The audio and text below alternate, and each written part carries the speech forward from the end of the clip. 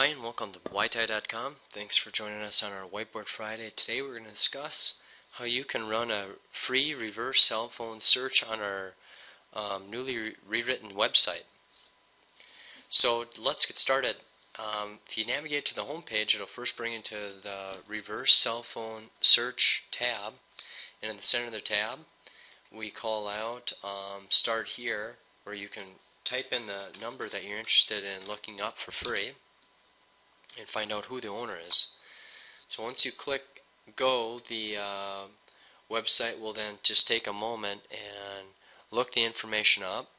And what it's doing right now is it looks over all the opted in users in the system.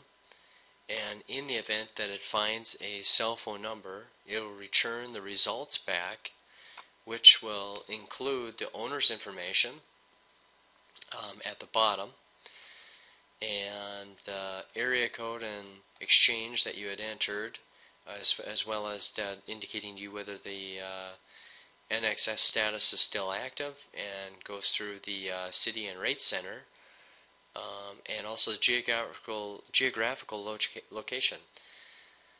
So that's that concludes our how to run a free reverse cell phone search. So feel free to get started. Thanks for listening.